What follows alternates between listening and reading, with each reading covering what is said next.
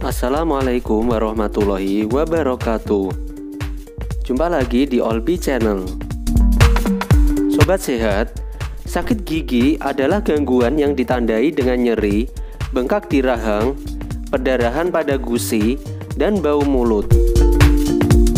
Tingkat keparahan dan durasinya bervariasi pada masing-masing pengidap Gejala yang muncul biasanya menjadi pertanda adanya masalah pada gigi atau gusi.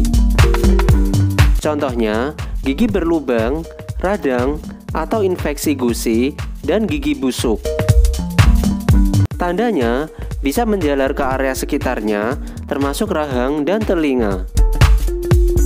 Berikut adalah jenis obat yang direkomendasikan untuk meredakan sakit gigi. Antara lain yaitu tapi sebelumnya jangan lupa subscribe dan klik tombol loncengnya agar sobat sehat semua tidak ketinggalan info-info terbaru dari Olbi Channel. Nomor 1.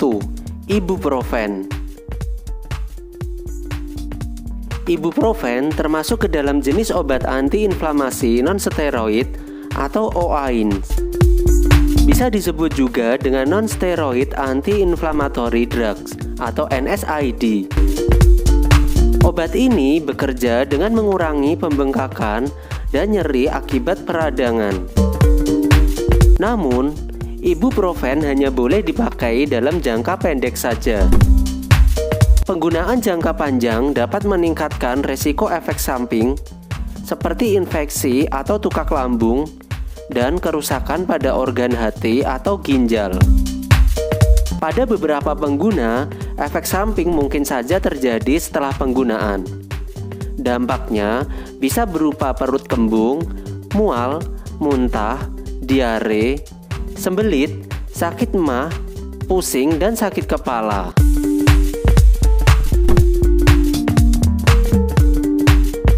Nomor 2. Paracetamol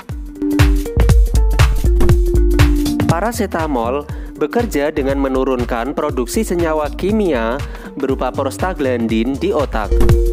Senyawa tersebut berperan dalam menyebabkan pembengkakan dan peradangan. Sama seperti ibuprofen, paracetamol juga tidak bisa digunakan dalam jangka panjang. Salah satunya kerusakan hati. Dalam jangka pendek, efek sampingnya berupa nyeri ulu hati, perubahan warna tinja dan feses, serta sakit kuning.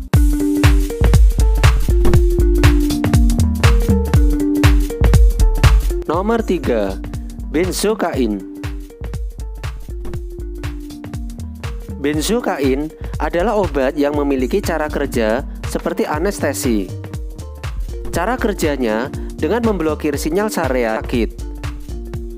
Dalam jangka panjang, penggunaan beresiko menyebabkan metemoglobinemia Metemoglobinemia adalah gangguan yang menyebabkan penurunan jumlah oksigen di dalam darah.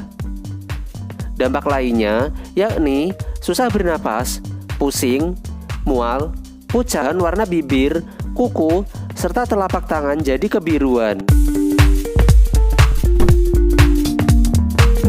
Nomor 4. Asam mefenamat Asam mefenamat atau mefenamic acid mengandung zat antiinflamasi yang efektif mengatasi rasa nyeri. Namun, penggunaannya beresiko menyebabkan mual, muntah, perut kembung, diare, sakit mah, pusing, dan sembelit.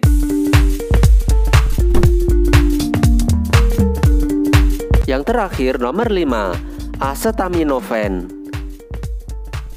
Acetaminophen adalah obat sakit gigi dari golongan analsik.